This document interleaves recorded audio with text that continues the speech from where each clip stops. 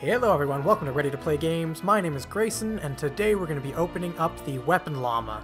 So this is the first time we've seen the Weapon Llama since its new price drop. It used to be 350 V-Bucks, and now it's 200. We can buy three of these, and that's exactly what we're going to do, so let's get going. Oh, three-pronged approach. I dig it. Oh, Alright, Llama 1. And we're starting off with a silver, and it's going to stay silver, alright. Neat stuff.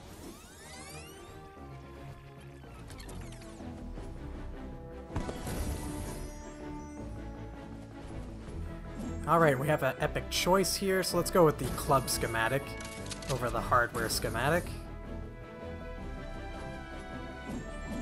And we can choose a Tremendous Driver or a Fortsville Slugger 2000. So let's go with the Tremendous Driver. That uh, Fortsville Slugger 2000 comes up way too much. And we got a Skull Cleave.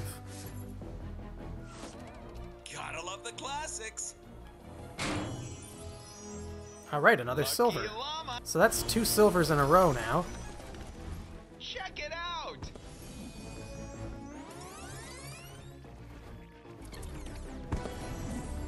Alright, then they see, there you go. There's that Fortsville Slugger 2000 and an Exterminator. Alright, llama number three. Okay, so I was wondering, it looks like they've maybe changed the uh, weapon llama to always go silver. A silver shower of goods.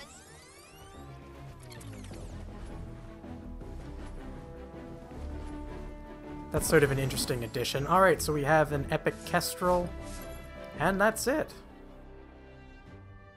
Well, alright guys, so there we go. That was an interesting development. So it appears now the weapon llama always goes silver, unless we just had really good luck. But we opened up three, all three went silver, we got five epic items, some blockbuster tickets, and then a whole bunch of items to break down.